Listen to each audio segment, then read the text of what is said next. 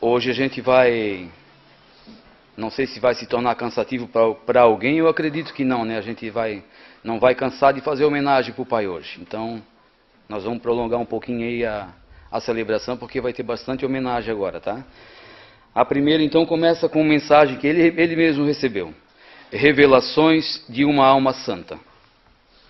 Mensagem recebida pelo profeta Pedro II, dia 6 de 6 de 2014. Uma história jamais vista.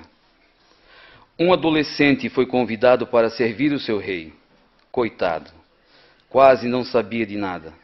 Entrou em seu palácio, ficou admirado, dizendo: Meu Deus, que coisas lindas! Nunca tinha visto tudo isso. Como que esse homem veio a gostar de mim? se sou quase analfabeto? O que é que eu irei fazer? O rei, então, vendo como ele era simples, disse: Eu te darei tudo o que precisares, desde o momento em que nunca venhas a me trair. E ele respondeu: No que eu posso lhe servir? Nunca mintas para mim. Sejas sempre honesto. Não ligues se alguém vier a te chamar de bobo da corte mas, Senhor, eu nem sei como começar. Ligue-se só em mim. Com o tempo irás aprender tudo o que eu quero de ti. Sim, Senhor, respondeu. O mesmo dali por diante começou a falar coisas que nunca tinha dito. Muitos ficaram admirados, dizendo: De onde vem essa pessoa agora falar melhor do que qualquer um que tanto estudou? E a sabedoria cada vez mais aumentava neste jovem. Passou então a ser um instrumento nas mãos do seu rei. Sua rainha quis que um dia viesse a se encontrar com o mesmo, junto com o seu rei. O mesmo, sem saber, pôs em seu colo, carregando por um curto espaço. Mas de repente desapareceram o rei e a rainha. Então viu que alguma coisa tinha acontecido, mas não percebeu o que tinha sido. Só ele, o primeiro a pegar sua rainha no colo como também carregou o seu rei, como se estivesse carregando duas crianças.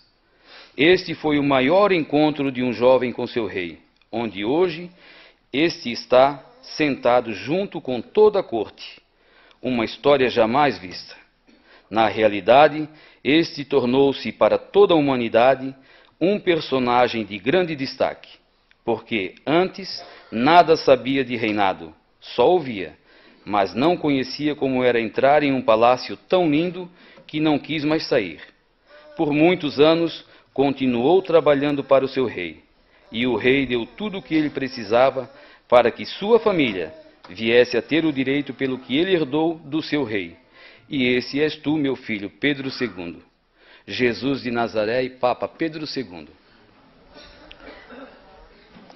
As datas dos acontecimentos.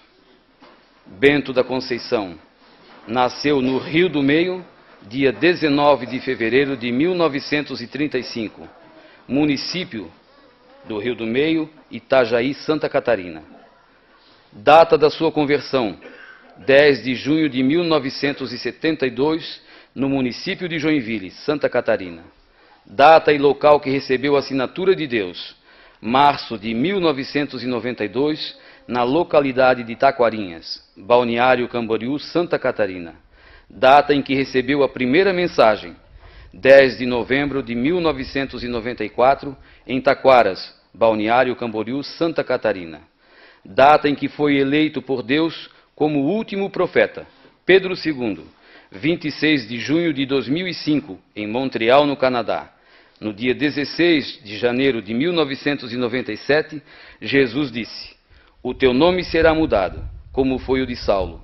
No dia 26 de 6 de 2005, em Montreal, no Canadá, Deus passa a chamá-lo de Pedro II, um líder para guiar o pequeno rebanho. Em 1972, foi chamado por Deus com 37 anos. Morreu com 82 anos. Mais da metade da sua vida dedicada somente a pregar o Evangelho e guiar esse povo que somos todos nós merece todo o nosso carinho e todo o nosso respeito. Agora eu não sei se eu vou conseguir, eu vou tentar, mas eu vou tentar com a minha alma.